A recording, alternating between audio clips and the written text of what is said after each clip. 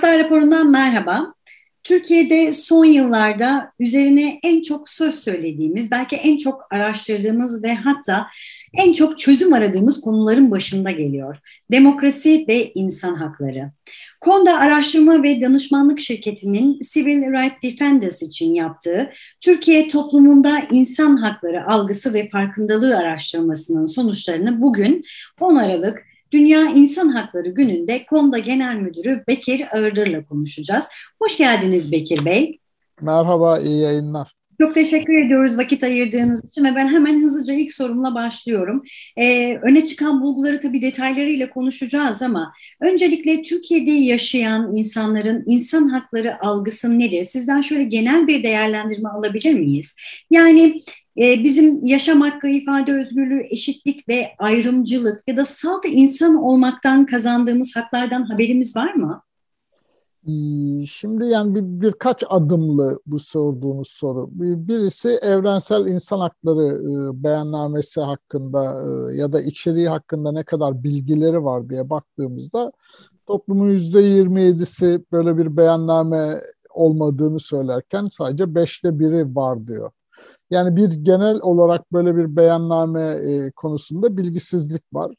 Ee, tabii ki yani eğitim meselesi, özellikle yaş, genç kuşaklarda ve eğitim seviyesi yükseldikçe bu konudaki farkındalık yükseliyor ama özü itibariyle hani e, epey bir insan çok da hani kavramın farkında değil. Ama e, ya da beyannamenin farkında değil. Ama peki hak, insan hakları dediğinizde hangi kavram e, öne çıkıyor ya da nasıl tanımlarsınız dediğimizde Türkiye insanı için öncelikli mesele eşitlik insan olabilmek ve yaşam hakkı elbette ve üçüncü olarak da özgürlük yanıtları öne çıkıyor. Yani eşitlik diyenler yüzde 26, insan olmak yaşam hakkı demek yüzde 19, özgürlük diyenler yüzde 18. Sonra insanlık onuru, işte doğuştan gelen haklar falan gibi vesaire devam ediyor. Ama burada ilginç şey bu çalışma ve bu çalışma yanı sıra yani CRD için yaptığımız e, Civil Rights Defender için yaptığımız bu çalışmanın yanı sıra konuda biz konuda veri ambarı diyoruz. Elimizde hani 2006'dan beri e, bu konularda yaptığımız çokça araştırma var. En azından 2010-2012 e, o yeni anayasa tartışmaları sürecinde bu konularda yaptığımız çok araştırma var. Neler değişti diye de e, kıyaslama imkanına sahibiz. Çünkü bu değişim çok önemli bir şey gösteriyor da Didem Hanım. Onun için e, bu detaya girdim. O da şu.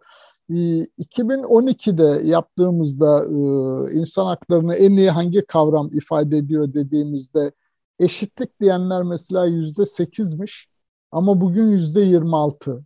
Yani ciddi bir ilerleme var ya da insan olabilme, yaşam hakkı dediğimiz yüzde 12 imiş e, Haziran 2012'de şimdi yüzde 19'a çıkmış. Ama özgürlük diyenler de o tarihte yüzde 33'müş e, şimdi yüzde 18'e gerilemiş. Şimdi bu değişim yani eşitlik artarken özgürlüğün gerilemesi insan hakları algısında bir gerileme anlamına gelmiyor. Tersine bizim insanımız insan haklarını gündelik hayatta bir yerden kendine değen bir yerden kendi derdi üzerinden düşünüyor ve tanımlıyor. Onun için evrensel insan hakları beyannamesinin içeriği hakkında ya da beyannamenin varlığı hakkında bilgisi e, önemlice bir kesimi yokken e, kendi hayatına değen konulardan sorguladığınızda, sorduğunuzda e, bugün mesela eşitliğin öne çıkması çok da makul değil mi? Yani böylesine derin bir ekonomik kriz yaşanırken örneğin ya da pandemi gibi bir e, melanetle baş etmeye çalışırken insanlar işte aşı sayılarından da vefat sayılarından da ya da gelir dağılımı sayılarından, işsizlik sayılarından da görüyoruz ki e, aslında mağduriyet e, çok ağır ve özellikle doğrudan hanenin geçimine değen bir mağduriyet çok ağır. Onun için buradaki eşitlik kavramı aynı zamanda biraz da gelir adaleti talebi e, olarak dokunabilir. Yani özgürlük talebi ya da özgürlük duygusu ihtiyacı geriye gittiği için azalmadan söz etmiyoruz. Konjöktürel olarak 2021 Kasım'ında aralığında Türkiye insanının hem pandeminin ürettiği sağlık meselesi hem ekonomik krizin ürettiği ekonomik krizin e, sonuçları, işsizlik, geçim, enflasyon problematikleri gibi meselelerin konjektür olarak insanların hani algılarında ve ihtiyaç ve talep sıralamasında bir yer değiştirmesinden söz edebiliriz. Ee, dolayısıyla bir yandan toplumun yani peki insan hakkı denen şey nedir diye sorduğumuzda ama her yüz insanın 83'ü e, herkesin doğuştan gelen bir hakları diye düşünüyor bunu. Yani sadece devletin bahşettiği bir şey olarak değil, herkesin insan olmanın doğal hani e, rahmetli Hrant Dink'in e, tanımını ben çok seviyorum. Karın gurultusu gibi derdi o hani e, dil hakkını. Dolayısıyla Türkiye insanı da e, insan hakları meselesini herkesin doğuştan gelen temel haklara sahip olması olarak algılıyor. Devletin e, tanımladığı ya da izin verdiği bir şey olarak tanımlamıyor ve aşağı yukarı bu kanaatte mesela 10 yıl önceki yani 2012'deki araştırmamızdan da çok özel bir farklılığı yok hemen hemen. Sadece hani eğitim seviyesi düştükçe örneğin hani devlet tanır bu hakları gibi o işte yüzde 18-17 mertebesindeki insanın oranı birazcık artıyor belki ama özü itibaren Türkiye'deki insanların her beş insanının dördü bu konuda kafası çok net. İnsan hakları insanların doğuştan hani içkin haklarıdır, var olma hakkıdır, yaşam hakkıdır diye düşünülüyor.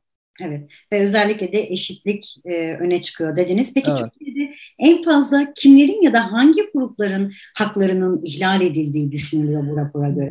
Valla araştırmamızın bulguları üzerinden baktığımız zaman öncelikle mesele kadınlar. Yani yüzde 45 insan kadınların hakları ihlal ediliyor diyor.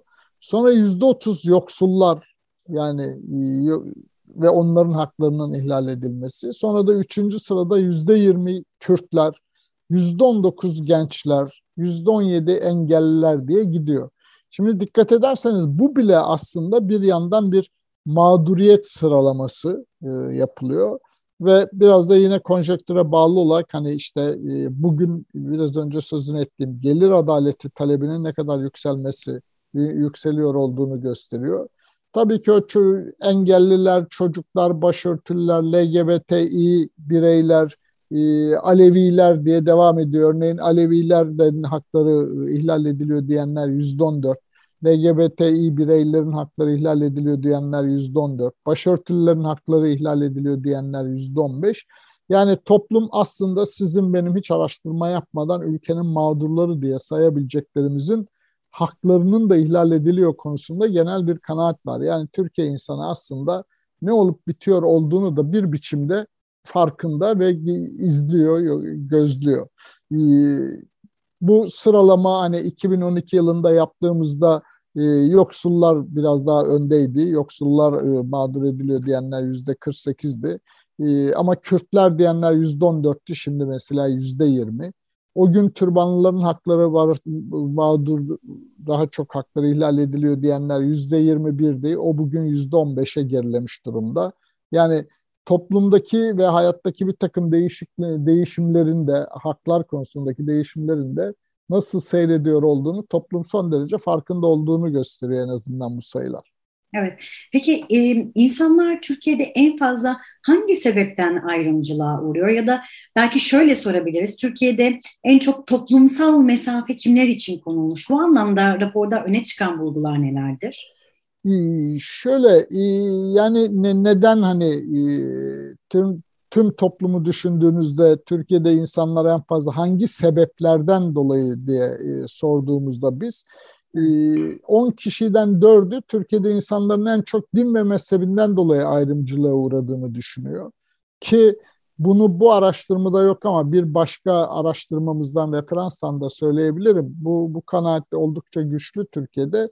Nitekim de örneğin Alevilere sorduğunuzda mesela bu baskı ya da hak ihlallerinin nedeni e, ne dediğinizde toplumsal baskılar, toplumsal yapı derler. Ama Kürtleri sorduğunuzda daha çok hani devletin uygulamalarını referans verirler. Ama her 10 kişiden 4'ü Türkiye'de din ve mezhepten dolayı ayrımcılığa uğradığını düşünüyor. Yine her 100 kişiden 36 ya da 10 kişiden 4'e yakın insan yine cinsiyetinden dolayı yani kadınlar meselesi LGBT ya da toplumun üçte biri siyasi tercihinden dolayı diyor. %28'i de etnik kimliğinden dolayı ayrımcılığa uğradığını düşünüyor. Yani e, toplum demin dediğim gibi burada da e, en azından nedenler konusunda da çok gayet aklı selim e, şey yapıyor. Ama mesafelenme tabii e, hani biraz temas diyelim. E, biz sadece hep mesafeden konuşuyoruz. Belki olumsuz bir tını içeriyor ama e, temas üzerinden baktığınızda farklı algılar var. Yani toplumun yüzde on biri mesela Kürtlere kendini uzak hissediyor. Ama yüzde yirmisi yani teması az olabilir ama bir yandan da farkındalığı yüksek çünkü yüzde yirmisi Kürtlerin hakkının ihlal edildiğini de söylüyor mesela oranda farklı. Ya da toplumun yarısı mesela LGBTİ bireylere kendini uzak hissediyor ama e, haklarını ihlal ediliyor mu diye sorduğunuzda yüzde on dörtlerde e, ancak haklarını ihlal ediliyor deniyor. Yani kendini uzak hissetmek ya da yakın hissetmek üzerinden baktığınız zaman Türkiye'de en uzak hissedilen grup LGBTİ bireyler. Yüzde elli insan kendini uzak hissediyor. Ya da mülteciler meselesi var. Son yılların e, önemli bir tartışması biliyorsunuz. Yüzde otuz altı insan mültecilere kendini uzak hissediyor. Ya da yüzde yirmi altı insan azınlıklara diyor. Yüzde on bir insan Alevilere diyor. Orada hani uzaklık yakınlık fark ediyor. Ama bir yandan da hani kendini e, işte demin dediğim gibi kadınlar meselesine en çok hakları ihlal edildiğini düşünüyor ama hani kadınlara uzaklık yakınlık diye bir meselesi yok mesela insanların. Evet. Hakları ihlal edilenleri konuştuk ama bir de hakları ihlal edenler açısından bakalım. E, o açıdan baktığımızda yani Türkiye'de en çok kimler e, hak ihlallerini gerçekleştiriyor?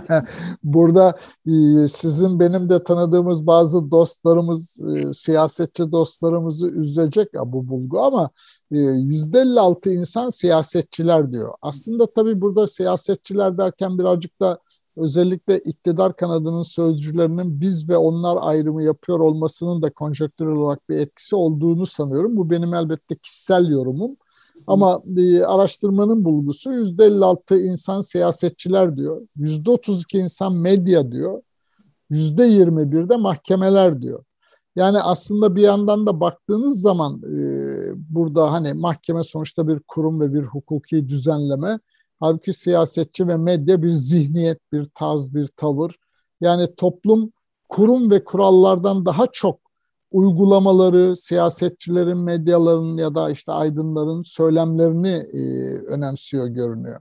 Anladım. %56 oldukça yüksek bir rakam. Evet, Tam yeri evet. gelmişken ben de sorayım size. E, bu rapora göre mevcut hükümetin insan haklarının korunması ve geliştirilmesi anlamındaki karnesi nasıl? Yani toplum mevcut hükümete bu anlamda güveniyor mu? Valla e, yani her 100 kişiden 70'i Türkiye'de insan hakları sorunu olduğunu düşünüyor bir kere. %50'sinin de bunu e, şeyden eğitim eksikliği diyor mesela. %36'sı hukuk sisteminin sorunları diyor ama %35 yine siyasetçilere vurgu yapan bir şey. Siyasi yöneticilerin insan haklarına karşı tutumundan diyor. Dolayısıyla yani hükümetin de sorumlu olması ya da en çok hani güvensizlik duyup duymamak meselesine baktığınız zaman e, en çok hangi kuruma güveniyor? Vallahi hiç kimseye güvenen, güvenmem bu konuda diyenler yüzde 28. Cumhurbaşkanına güveniyorum diyenler yalnızca yüzde 20. Büyük Millet Meclisi'ne güveniyorum diyenler sadece yüzde 12. Bu bile bence e, önemli bir soruna işaret ediyor. Yani bizim siyaset marifetiyle bu problemi çözmemiz gerektiğini işaret ediyor diye düşünürüm. Yani her beş kişiden biri sadece insan hakları konusunda Cumhurbaşkanı'na güveniyor örneğin. Evet. Ki bu oran e, affedersiniz yani 2012'de de sorduğumuzda o zaman da hani yüzde 22 idi başbakana güvenen yani icraî e, görevde olan siyasetçiye güven beşte bir eskiden de öyle şimdi de öyle aslında. Peki Türkiye'de insan hakları ihlallerinin kaynağında ne var? Sebebinin ne olduğu düşünülüyor? Valla kaynağı deyince tabii bir birçok sebep var burada. Yani aslında hani bir kültürel doku meselesi var. Ee, eğitim eksikliği en çok vurgu edilen şey. Ee, yani yüzde 52 insan e, eğitimden bu konuda eksiklik olduğunu düşünüyor ki benim de kişisel kanaatim doğrusunu isterseniz budur. Yani e, Türkiye'de bir başka araştırmamızdan mesela örnek vereyim. E, hani haklarınızı nereden öğreniyorsunuz, hangi kaynaklardan öğreniyorsunuz gibi hem de gençlerle ilgili bir araştırmada üniversite öğrencileri bir de eğitim sisteminden, kitaplardan ya da sistemden öğreniyorum diyenler toplamı yüzde yirminin altındaydı. Yani dolayısıyla eğitim eksikliği en büyük kaynak ve hukuk sistemi tabii yani kurum ve kurallar olmadığı zaman basının e, medyanın yaklaşımı diyenler var başta beşte bir. Geleneklerimiz, kültürel kodlarımız diyenler var yüzde on beş kaynak olarak. İnsan hakları aktivistlerinin, kurumların, örgütlenmelerin yeterince destek görmemesi var yüzde on iki gibi. Ama ağırlıklı mesele eğitim ve hukuk sistemindeki eksiklik. Peki Bekir Bey son olarak e, tabii farkındalık ve algı biraz arttı, konuştuk. Eşitlik özellikle e, oldukça artmış gözüküyor ama haklarımız ihlal edildiğinde izleyeceğimiz yolu biliyor muyuz? Yani biz kime gideceğiz, nereye gideceğiz, nasıl bir yol haritası izleyeceğiz? Buna dair Evet gündelik pratikte bu konularda ne yaparlar diye sorduğumuzda bir görüştüğümüz her 100 kişiden 45'e haklarının ihlal edildiği bir durumda önce bir avukata danışırım e, diyor mesela. Ya da her 10 kişiden 4'ü e, yine e, aşağı yukarı polise başvuracağını söylüyor. Ama %17 insan ailesine başvuracağını, %9'u ise ilgili derneklere başvuracağını söylüyor. Burada tabii hak ihlallerinin ne olduğuna da dair bir konu bu. Yani örneğin kadın meselesine dair e, hak ihlallerinde öncelikle bizim insanımız hani ailesini mesela önemsiyor ve ailesine e, söylüyor ama e, her yüz insanın aşağı yukarı 40-45'i önce avukat ve polise başvuracağını söylüyor. Mahkemeye giderim diyenler yüzde 54. Hani daha önce 2012'de ee, örneğin mahkeme diyenler %54'tü, polis %31'di. Şimdi polis diyenler %40'a çıkmış 31'den. Ee, işte mahkeme, avukat gibi hukuki kurumlara giderim diyenler de 54'ten 45'e gerilemiş gibi görünüyor.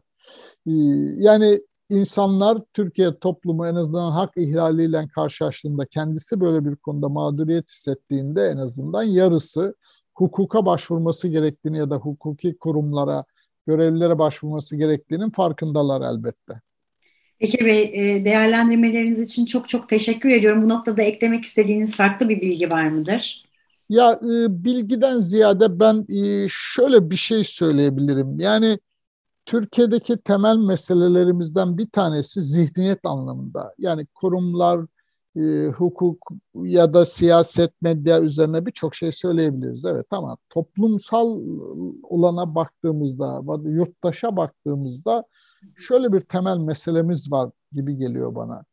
E, Türkiye insanı birey olmak konusunda çok gayretli. Yani kendi bireysel meselesini çözmek konusunda son derece gayretli, arzulu, emek harcıyor, hayalci, çoğulcu yani hani işte kendini ne kadar uzak hissediyorsun örneğin işte Kürtlere diyor mesela değil mi ya da işte mültecilere diyor. Ama oğlu ya da kızı bir Kürt'ten ya da bir mülteciyle evlendiği zaman da hiç boşandılar bunun sebepten aile istemedi diye örnek çok az duyarız. Çünkü o bireysel hayatına dair bir mesele. Ama sorunumuz şurada başlıyor. Türkiye toplumu yurttaş olmak konusunda, birey olmak konusundaki kadar gayretli ve arzulu değil. Bunun bir sürü sebebi var. Yani birey olmak konusunda bu kadar gayretli ve arzulu insanlar sokağa çıkıp yurttaş olmak konusu önlerine geldiğinde neden bu kadar temkinli, tedirgin, tedirgin, ikircikli davranıyorlar? Çünkü var olan hukuka, kurumlara, kurallara güvenmiyorlar. Yani temeldeki problem biraz da o. Dolayısıyla sokak ama bir yandan da sokaktaki gerilimin ne olduğunun da farkındalar. Evet. Yani işte eşitlik diyorlar örneğin. Ee, adalet diyorlar mesela bir başka araştırmamızdan başka bir örnek. Yani hani hayal ettiğiniz Türkiye'yi nasıl tanımlayalım, hangi kavramla tanımlayalım dediğiniz zaman öncelikle yüzde yetmişten fazla insan adalet diyor mesela. Ee, farkında karşı komşusunun, karşı kaldırımdaki insanların ne derdi olduğunu ama o caddedeki, sokaktaki hayata ve o hayatı düzenleyen kurumlara, kurallara güvenemediği için yurttaş olmak konusunda temkinli davranıyor. Evet. Ee, asıl meselemiz bu. Dolayısıyla bu mesele yani birey olmakla yurttaş olmak arasındaki bu ikircikli hal ama iklim değişikliği meselesinden bakalım ama ülkenin gidişatına müdahale edip etmeme arzusu üzerinden bakalım hangi konudan bakarsak bakalım hep karşımıza çıkan bir mesele. her şeyden önce. Dolayısıyla sorun insanların, toplumun eğitimi, eğitimsizliği, bu konudaki bilgisi, bilgisizliği, arzulu olup olmaması değil. Sorun insanların bu konudaki gayret ve enerjisini özgürce hayata yansıtabilecekleri kurumların, kuralların olmaması meselesi. Yani insanlarımızda ya da bu memleketin toplumunun DNA'larında bir sorun olduğu için değil, bu memleketin kurumu, kuralları, nizamı insanların yurttaş olmasına izin vermediği için böyle bir problemi konuşuyoruz. Birinci söyleyebileceğim, ekleyeceğim.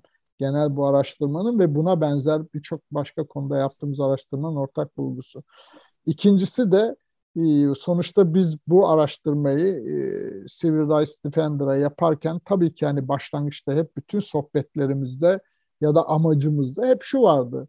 Yani insan haklarına dair çalışan örgütlenmelerin, sivil girişimlerin, sivil inisiyatiflerin e, yeniden toplumda ya da yeniden de değil aslında hani hiçbir zaman belki o arzuladığımız güce ulaşamadılar ama güçlenmesi idi aradığımız konu aslında ve dolayısıyla insan hakları aktivistlerinin ya da savunucularının ihtiyacı olan bilgiyi ya da hani toplumla ilişkilerine dair bir strateji üretmelerine dönük ve bilgi üretmekti bu araştırmanın özü itibariyle amacı. Hani yoksa e, Sinan'la ben oturup da ya neyi merak edelim diye tasarlamadık. Şimdi orada önümüzde bir mesele var. Yani e, hani birey yurttaş meselesi gibi söyleyebileceğim ikinci konuda o. Bu toplum dayanışma temelli örgütlenmeyi son derece başarıyla yapan imece, ahilik, vakıf gibi gelenekleri üretmiş. Hala bunca pandeminin ve ekonomik krizin ortasında geliri giderinden eksik olan üçte bir hanenin dayanışma içinde ayakta durduğu hani bütün bu yoksulluğa ve probleme rağmen evsizler de bir kavram yok değil mi bizde? Yani ya da hani evet tek örnekler başladı belki ama yine de öyle açlıktan ölüyorlar, köprü altında donmuş genç çocuklar falan gibi vakalarla karşılaşmıyoruz her şeye rağmen. Çünkü dayanışmayı biliyorlar. Dayanışma temelli örgütlenmeyi bilen bir toplum, hak temelli örgütlenmek konusunda neden ikircikli davranıyoryu düşünmemiz ve sorgulamamız lazım. O da yine yurttaş olmanın önündeki devletin ya da nizamın koyduğu kurallarla ilgili bir mesele var. Üçüncüsü de yine son söyleyebileceğim de o bu araştırmanın genel yorumuna dair bizim ya da diyelim insan hakları aktivistlerinin, savunucularının ya da iklim değişikliği aktivistlerinin, yeşil aktivistlerin ve savunucularının kurduğumuz bu konularda kurduğumuz dil, kullandığımız jargon ile toplumun gündelik hayatında kullandığı dil ve jargon arasında bazen farklar var. Ve biz o farkları gidermek yerine genellikle toplumun eğitimsizliğine, cahilliğine ya da bu konularda arzulu olmaması gibi toplumu suçlayıcı bir yere bağlıyoruz lafı getirip. Halbuki öyle değil. Yani onlar işte en başta da söylediğim gibi sade bireyler insan hakları meselesini de örneğin, iklim değişikliği meselesini de örneğin ya da gelir adaletsizliği meselesini de örneğin kendi hayatlarına değen bir yerden deneyimliyorlar ve kendi hayatları üzerinden düşünüyorlar. Öncelikle de o meseleyi halletmeye çalışıyorlar ve kendilerine göre kurdukları bir dil var. Dolayısıyla bizim örneğin hak diye kullandığımız kavram ile bizim sade bireylerin ya da Kayseri Develi'deki bir Ayşe teyzenin adalet diye kullandığı kavram aslında aynı.